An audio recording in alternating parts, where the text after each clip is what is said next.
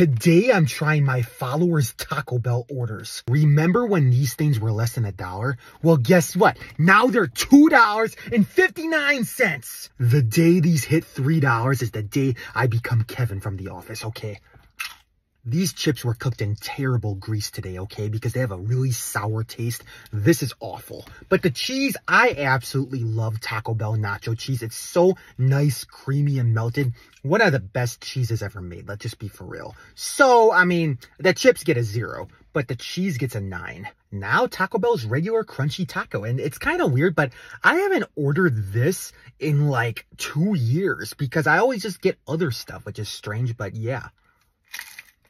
If I go to Taco Bell, I usually get like burritos. But dang, this brings me back to the good old days. This is as good as I remember. And the lettuce just keeps falling out, just like the good old days. There's not too much beef in here, but everything is pretty solid. And the shell is a little bit soft today. I think the beef kind of warmed it up, which kind of molded it more to my softness. Oh yeah, baby, I'm soft. Okay, let's just get this taco. Don't quote me on that, but yeah, this taco, solid 8 out of 10. I love it. Now let's get a little bit more feisty with the Doritos Nacho Cheese Taco. And yes, they still make this.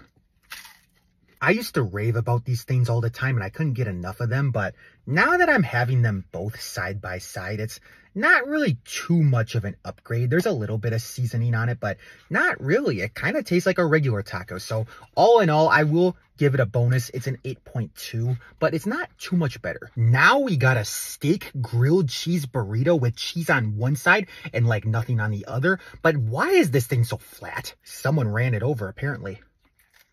This steak has a very burnt taste to it, and that ruined the entire burrito. I think they pressed it too much in the grill press because this thing is way too overdone. Gross. 2 out of 10. I wasted $5 on that. I'm gonna cry.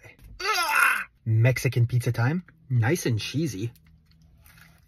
Mexican pizzas are the goat! The goat!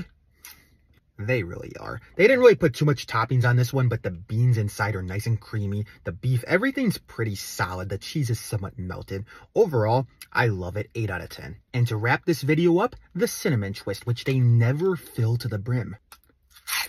They never have enough cinnamon on them. And so it just tastes like a cracker. So it just, it's like, what kind of dessert is just a cracker? It's, it's not that good, but it's, it's decent, but I give it like a 5 out of 10. Basically, every time I get these things, I'm expecting more. This thing has so much potential, but it just never fulfills it. All in all, I still love Taco Bell, but I cannot forgive them for taking away my favorite menu item, the quesarito.